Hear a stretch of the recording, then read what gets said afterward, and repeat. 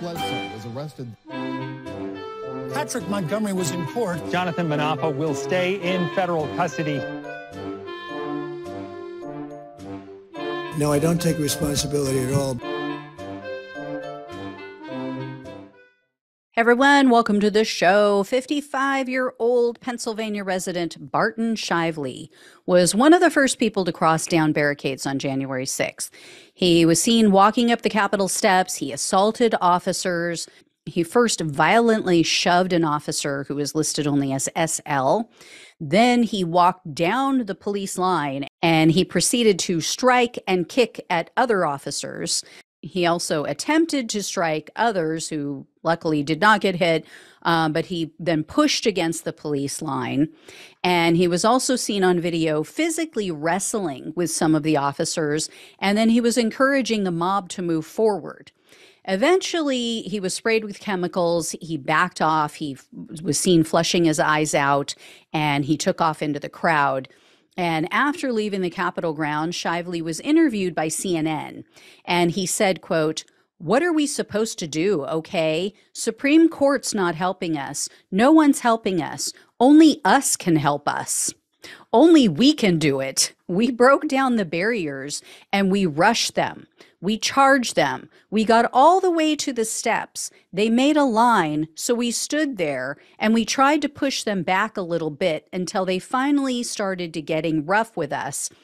So we kind of pushed them back. So that's what we did. We pushed them back. We tried to get up the steps. They wouldn't let us up. So they started pepper spraying. So on January 14th of 2021, Shively contacted the local police. He actually reported himself. He said he took part in the Capitol attack. He admitted to deleting all of his photos and videos from that day. And that night that he contacted them, he was interviewed by the FBI. So Shively told the FBI agent that when he confronted the officers, they pushed him back and it made him angry. But then he admitted, quote, I mean, it was a riot. I mean, it was a mob of people just yelling and screaming. I was talking to the cops and you know, I'm sure they were scared. I understand that and they're they don't know what to do because it's overwhelming. So he knew what they were up against and he just added to it. So Shively was arrested on January 19th of 2021 and in a superseding indictment he was charged with civil disorder, three counts of assaulting officers, entering restricted grounds, two counts of disorderly conduct, two counts of impeding passage, and two counts of physical violence. On May 4th of 2022, probation officers stopped by his house. They made an unannounced visit to Shively's home and they found a shotgun, ammunition, knives, and a sword. Um, so this was a direct violation of his pretrial release. So his bail was revoked. He was sent back to jail to await sentencing. And in September of 2022, Shively pleaded guilty to two counts of assaulting officers. So he was looking at up to eight years in prison, three years of probation, and 250,000 in fines. However, the, pr- the prosecutor requested only 37 months in prison, three years of probation, 2,000 in restitution, and a $20,000 fine. And Shively has a criminal history, although I, you know, I will admit the charges are pretty old. They span from the mid 80s to the late 90s. Um, and he's been convicted over that period of time of several drug related crimes, harassment, unlawful possession of a firearm, things like that. Initially, this case was assigned to Judge Colleen Kollar-Kotelly. She is a very tough January 6th judge, but Shively requested that she be removed from his case because they said, oh, she's biased.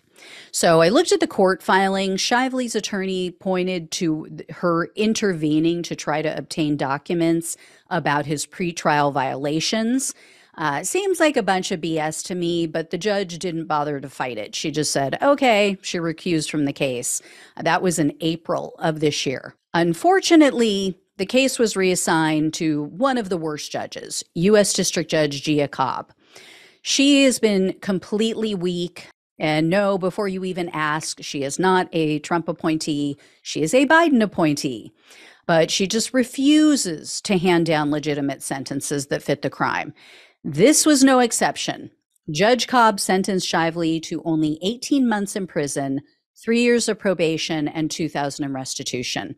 Um, for how violent he was, this is a complete joke. I mean, you guys will remember, I think it was just yesterday, I, I shared with you a sentencing for a man who committed no violent acts. He was in the Capitol, he was inside the Senate chamber, and they gave him 18 months.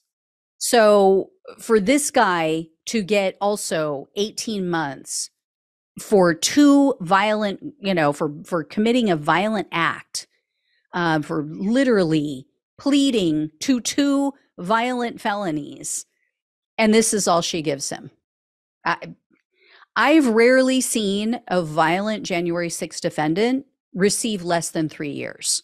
And that's even when they're convicted of only one assault charge. So he pleaded to two. So this judge, Cobb, needs to just find a different job. She needs to go like bake cookies or something. That is more her speed. She just wants to bring people joy, apparently. so, anyway, guys, I, I, don't even know what to say anymore. It's a joke. Um, I will let you know if I hear any more, though. Thank you so much for watching and listening. Please like this video, share it with everyone you know, become a subscriber. Uh, become a supporter of the show if you can. Links are down below in the description box on YouTube and on the podcast. Love you guys. Take care. I'll talk with you soon.